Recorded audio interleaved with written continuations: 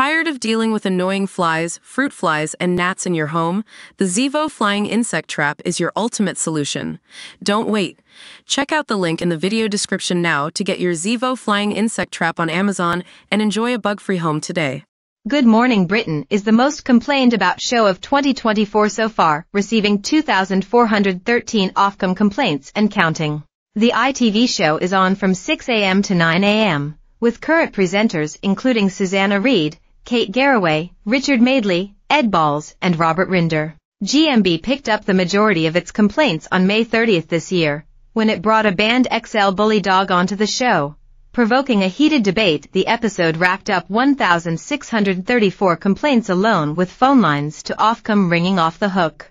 In second spot was This Morning, with 1,264 complaints, picking up 637 of those on May 28 after guest Nick Ferrari's on-air comments regarding peanut allergies on planes. When asked about his dream airline Ferrari claimed that if you don't like peanuts, don't get on the plane either because I do and I can't eat them because someone at the back of the plane is going to drop dead or something if I have a peanut. Host Dermot O'Leary apologized after Ferrari's comments, but viewers still lodged complaints with Ofcom regarding the episode. ITV shows take up the top four spots with the list of the top 10 as follows. 1. Good Morning Britain, 2,413. 2. This Morning, 1,264. 3. Emmerdale, 1,189. 4. Love Island, 651. 5. Hollyoaks, 358. 6. Loose Women, 263. 7. Britain's Got Talent, 224. 8. Celebrity Big Brother, 210. 9. Celebrity Gogglebox, 105. 10. Dancing on Ice 86. A spokesman for casino site No Deposit 365 said it analyzed Ofcom data from the start of the year until July 15.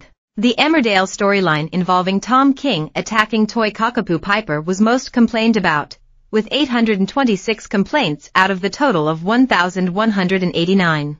Love Island received most complaints, 210, for an episode in June where Jess and Harriet squabbled. The show has racked up 651 complaints since Series 11 began airing on June 7th. Hollyoaks received all 358 complaints about a series of episodes in March about a transgender child. The spokesman said, Good Morning Britain has received the most Ofcom complaints in 2024 so far, with a total of 2,413 reports. He added, Shows that generate a high volume of complaints are often ones that provoke a strong gut reaction from its viewers. A significant number of these complaints, particularly concerning talk shows, often stem from individuals making controversial or provocative statements.